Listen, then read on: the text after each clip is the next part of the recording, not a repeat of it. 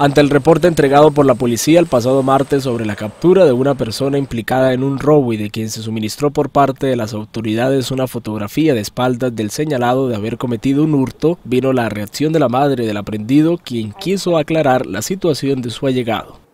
Al hijo mío lo, llevaron preso por alimentos. A él ya lo habían capturado por los alimentos, ahorita lo volvieron a capturar porque resulta que los papeles que tenían que venir de Cúcuta no han llegado, donde se encuentra el paz y salvo. Ahorita me lo están culpando de que la noche, el domingo en la noche lo agarraron y dicen que fue por, por, por hurto, que es por robo, y eso no es así. Yo tengo los documentos y tengo todos los papeles de la vuelta que hemos hecho y esos papeles no han llegado de Cúcuta. Yo fui a la Defensoría Cúcuta, estoy en la Defensoría Quinocaña y en todas partes. Entonces me parece injusto que vayan a culpar al hijo mío de cosas que no son. El hombre fue conducido al centro penitenciario y carcelario a la espera de su situación legal donde sea aclarada ante la situación que la misma madre explicó.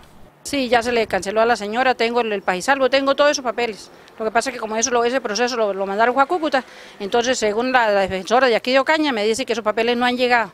Ya van cuatro meses y hasta ahora no he podido solucionar nada. Y la noche que lo agarraron, entonces vienen y lo culpan de cosas que no son.